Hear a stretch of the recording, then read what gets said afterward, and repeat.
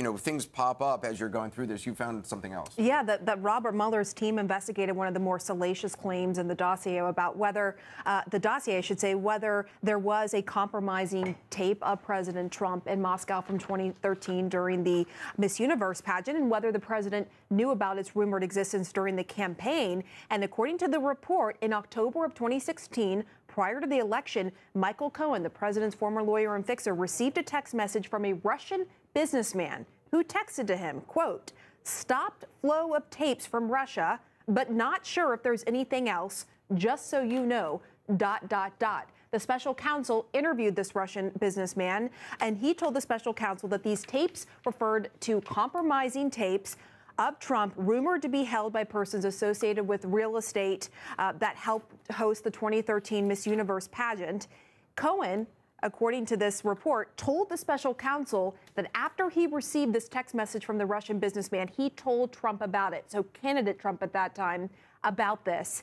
And that the, the businessman told prosecutors that the tapes ended up being fake, but that he never conveyed that to Michael Cohen. And therefore, that was never conveyed uh, to Trump. And so here you have a scenario where Trump was told in October of 2016 that there might be compromising, compromising tapes of him um, that are held by Russians. And then he's briefed by his own FBI director in January of 2017 about the dossier and that the Russians uh, may have compromising tapes about him involving his conduct when he was a private citizen during the 2013 Miss Universe pageant. Hmm. So that seems significant. And, and, and you know, you, you put that in the context of the president's behavior and so forth, with this belief, potential belief that there were these compromising tapes of him that he has always denied. And we should point out, as point you out, said, the Russian businessman said that the tapes were fake. They were fake. Yes, he was, reiterate he was, he was told. He was told. The yes, he was told. That's, yeah. that's specific. He was told the tapes were fake, yeah. but that was never conveyed to Cohen. For those following at home, that's volume two,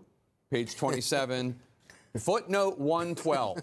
Footnote 112. Jake, how many people do you think are actually sitting at home with this 400-page no document being like, oh, wait, let me, uh, let me turn to that page. I feel a lot of fellow nerds out there. Well, but, but, actually, you know, the, the version that was, down, that was put on the, on the web is not searchable. And yep. there is a big See? industry now of I'm people. You are. Oh, there are there are lots of folks um, using technical skills that are greater than mine who are putting it out on the web now in searchable format. Mm. I suspect, but, but the, the way, original one was not. And I suspect, by the way, don't you, Pamela, that, that the reason this isn't a footnote is because they want to de-emphasize it. They want they, they don't want people Absolutely. running around thinking, "Oh my God, the tape that. is real. The tape is real." Exactly. It's it's they a, have it's no a, reason to believe, according to this footnote, that this that this tape is real. Told the tapes that it's were valid. Fake. They investigated yeah. it, and in fact, we're now learning that uh, Michael Cohen was told about a tape the Russians may have, but this person who conveyed that to Cohen during the campaign then told prosecutors he was told the tapes were fake. And as we know, the president has always denied this um, from the get go. But what's interesting in, in this context is just the idea that the president was told this as a candidate that, the, that this this rumored existence of these compromising tapes, and then he was briefed about it in January of 2017 by the FBI director, talking about uh, the dossier. So it just gives more context to all of it. Also gives you a sense of the portfolio of Michael Cohen in the Trump organization, dealing with, you know, Russian businessmen and tapes. Yeah, well, and also just the, the idea that this uh, apparent, apparently President Trump first learned about this apparently false allegation uh, when, a, when the Russian businessman uh, texted Cohen.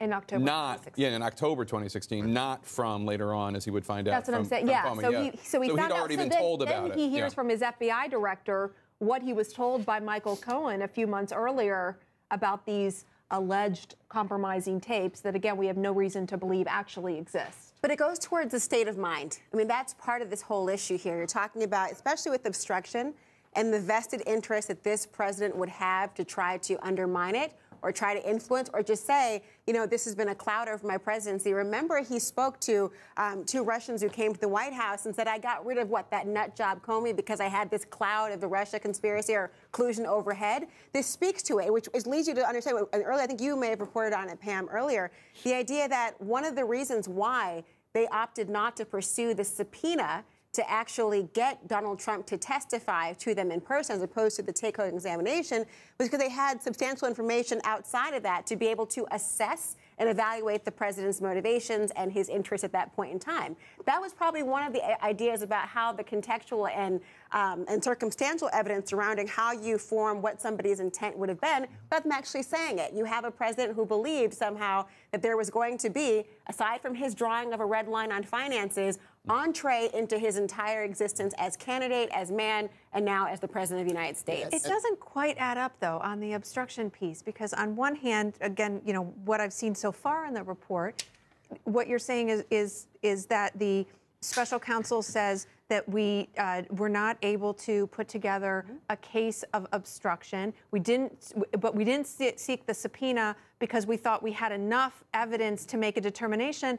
But then they didn't make the determination. So there still is a, a, a piece of this that even though the special counsel's report explains somewhat of what they did with the obstruction, I still don't feel, and, and maybe when I read more details, I will feel more confident in understanding exactly why the special counsel's office didn't make But- its determination, unless it was because they were simply providing the facts. for Mueller Congress. also says in the report that another reason why they didn't seek out Donald Trump's testimony was that the, the legal delay Mm-hmm. would have just eaten up months that they didn't they didn't feel that they have. So it wasn't So they would just have that had they, to weigh it. Yeah, so they were weighing the delay, which which is very subjective. I think that analysis. I don't know what you guys think, but I, mean, think been that's 22 subjective. months. it, it, it could have taken longer, or it could have been expedited. Courts could have handled it in different ways, given the gravity of the matter. So I feel like that piece. But it is important to point out that subjective judgment. the Mueller report is saying the president's answers were inadequate. Those were solely answers on the issue of conspiracy or collusion. Nothing about there. You know, he refused to do even written answers on obstruction of justice, which is obviously a more fraught area, uh, clearly given what And Mueller I, had found. I really read that as meaning, I, mean, I don't know what the other prosecutors think, but I read that as them feeling like we've got him in terms of the intent evidence. We don't need to interview him. Now, the Right. They said his that his personal that his public statements and other stuff that already gave them an idea a, a, an idea of what was going on. Yeah, I think it was a closed book on whether he intended that or not. It's a separate question. Do you decide to indict or you follow the policy? But in terms of evidence, I'd look at that as saying, I don't need to interview the guy. I already got him. Hmm. And they said that. They said we had sufficient evidence to understand relevant events and to make certain assessments without the president's testimony, almost rendering it obsolete. Now, of course, I don't see it as obsolete. I, would want to be able to ask the follow up questions, and after it's vetted by the lawyers and you have your necessary preface about your amnesia that you're supposed to have whenever a lawyer talks to you.